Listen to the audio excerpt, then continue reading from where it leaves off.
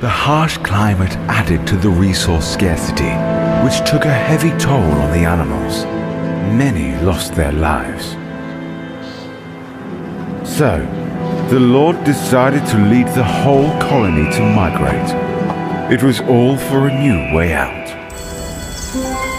Through the mists, they found a new land, which seemed to be rich in resources.